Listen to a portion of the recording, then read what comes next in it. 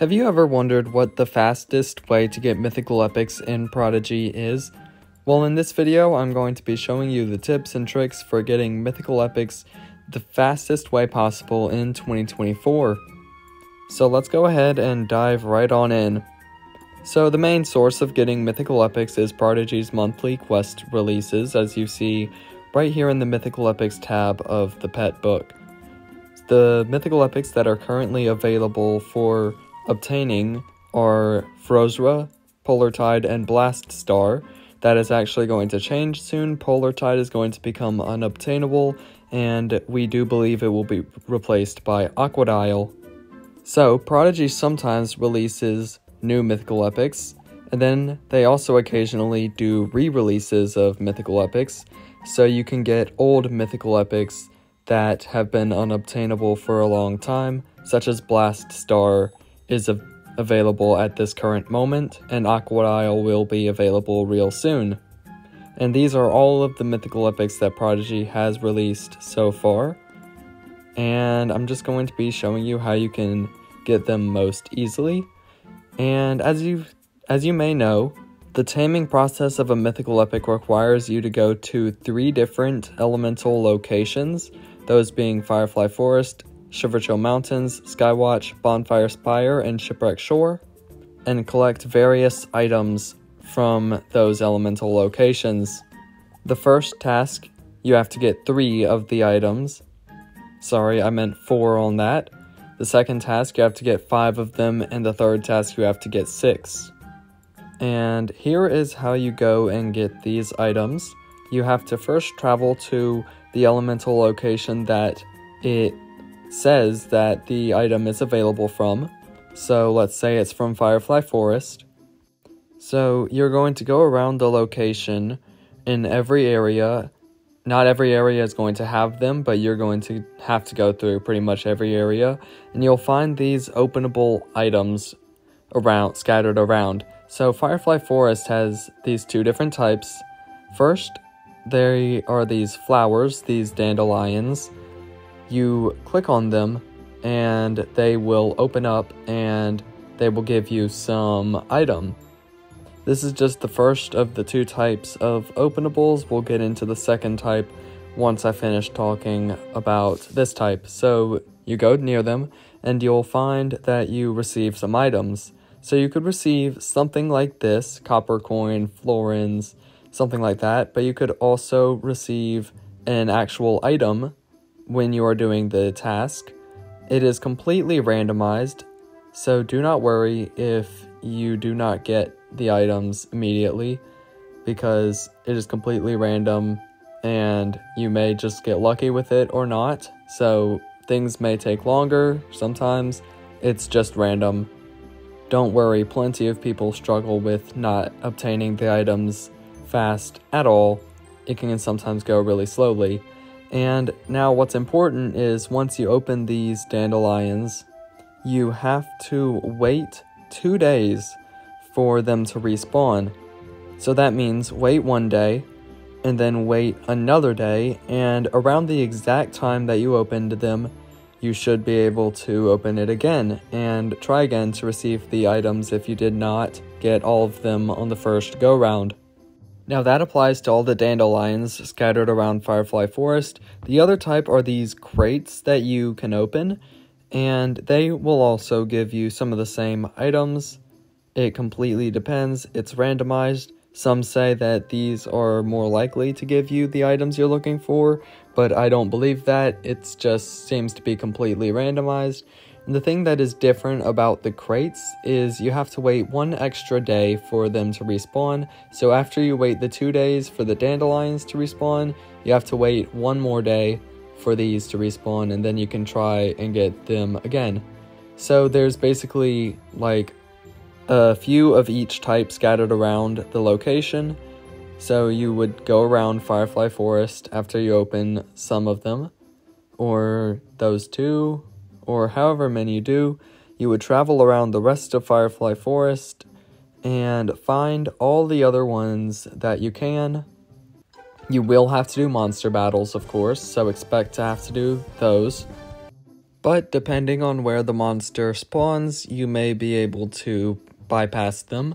So as you see, there's some more dandelions up here. You would be able to open those after you've finished this monster battle.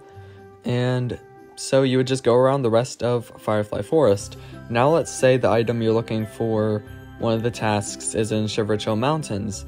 Basically, you're going to go and, well, do the same thing. Go through every area in Shiverchill Mountains and search for the openable items that you can try to get your quest items from. We're going to go ahead and do this battle. And we're going to find up here a snow pile. This white snow pile right here, that is going to be the openable type of dandelions from Firefly Forest. So these are the ones that respawn every two days. And the other type, you'll have to go a little farther to find. These crates are the equivalent to the boxes in Firefly Forest. They will respawn in three days. So the other elemental areas will also have these two different types of openables spread out across the area. If your quest items are to be found in Skywatch, you can find these heart balloons right here. Those are the equivalent of the dandelions and snow piles in Firefly Forest and Shiverchill Mountains. And those are going to respawn in two days. And you can also find these uh, safes in areas like this, they are the ones that will respawn in three days instead of two. So, of course, try to remember that when you are searching. Bonfire Spire, you will find these two different types here. You'll find these like plants that you can go and open. These are the ones that are like the dandelions, heart balloons, and snow piles. And you will also find these crates that also give you items, and they are the ones that will respawn in three days. And lastly, your search may take you to Shipwreck Shore, where you will find these two types. These sand piles are the ones that will respawn in two days. You can find them across the island. And these treasure chests are the ones that will respawn in three days those are found deeper into the island. So, once you go around collecting the different items from three different elemental locations for one mythical epic, that will depend on what the mythical epic is, the combination of elemental areas that you have to go to. Once you collect all items, the 4 task, the 5 task, and the 6 task, after you finish each one, you will be able to trade with Ula, who is the character that Prodigy has designated to trade mythical epics for. Well, pretty much you take your quests items to Ula and she will provide you with the location of the mythical epic you are looking for. You're just going to click on the button on the task page and click on the uh, icon on the map that has the um, music notes above it and it will take you to a spot that is close to where Ula is. You should not have to do any monster battles to trade with Ula. But you will not find Ula if you do not click on the trade button and take and it'll take you to the elemental location. You can't just go there by yourself and expect to find your mythical epic. Well, actually you can trade with Ula, but you'll have to do your monster battles, so be cautious of that and use the button in the Mythical Epics tab. Once you have traded with Ula, now you are able to go find the Mythical Epic and do a taming battle against it. You have to go back to the tab, click the taming button, and then it'll take you to the map again, where you click on the elemental location that has the stars above it, and then you're going to go follow the trail of stars that appears on the area when you go to it. And once you finish following that, it shouldn't be long. You should find the mythical epic available to battle. You will probably have to do monster battles. You may or may not have to. They will be there, so watch out for that. But then you'll just go up to the mythical epic and click on it, and you should go into battle with it. It'll take several hits to take it out because it does have a lot of hearts, But once you do so, you've completed one taming battle, and then you can do the others in any order that you like.